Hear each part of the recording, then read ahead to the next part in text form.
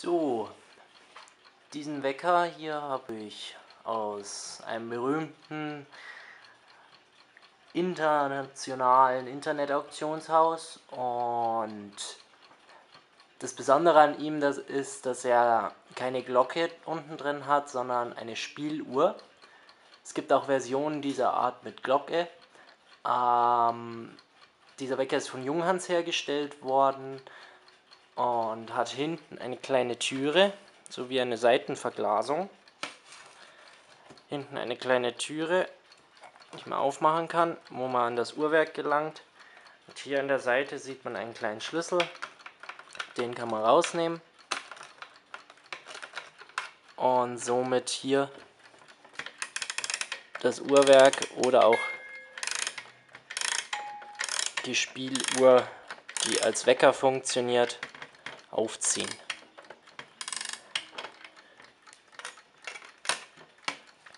Um das Geräusch beim Laufen der Spieluhr zu vermindern, ist, ich weiß nicht, ob man das erkennen kann,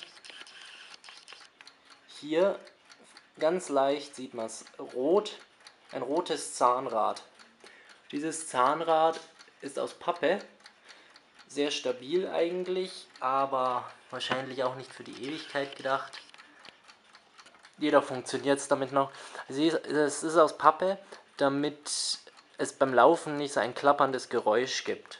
Das ist bei vielen Uhren mit Spieluhr so, dass man ganz leicht ein Klappern hört. Und das hat man bei diesem Pappzahnrad oder auch Kunststoffzahnrad später halt nicht. Wenn wir jetzt einfach mal den Wecker aktivieren. Dieser Wecker hat keinen Aussteller. Das heißt, die Uhr läuft so lange durch, bis die Feder für die Spieluhr halt abgelaufen ist. Die Melodie von diesem Wecker heißt Take Me Back to London. Steht auch hier unten drauf. Ist sehr selten, dass dieser Aufkleber noch erhalten ist. Also ein wirklich schönes Stück. Und auch in sehr guten Zustand. Jetzt schalten wir einfach mal die Spieluhr an.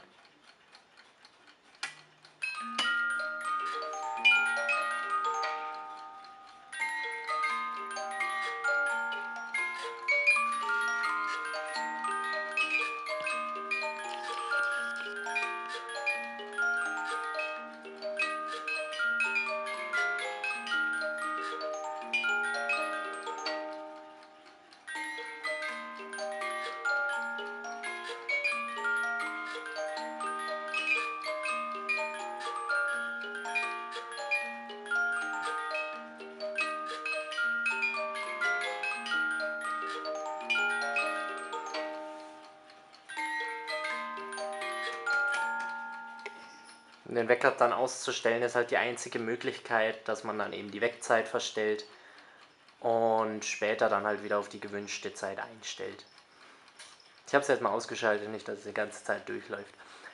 Also wie gesagt, das, der Wecker ist ein sehr schönes und vor allem gut erhaltenes Stück. Ähm, das einzige Manko, was man so sehen kann, ist halt hier dieser Wasserfleck, sage ich jetzt mal. Ich weiß nicht genau, was es ist am Ziffernblatt wahrscheinlich Öl oder sowas. Gereinigt habe ich noch nicht, das mache ich erst dann, wenn ich komplett umgezogen bin in der neuen Wohnung. Aber ich wollte euch diese schönen Wecker schon mal nicht, nicht vorenthalten.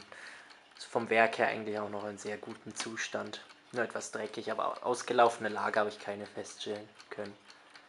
Ja, das war's zu diesem Wecker.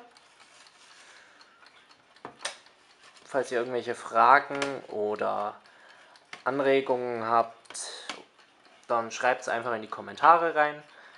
Ich werde mich, sobald es geht, dann auch darum kümmern. Ne? Also, Servus und macht's gut.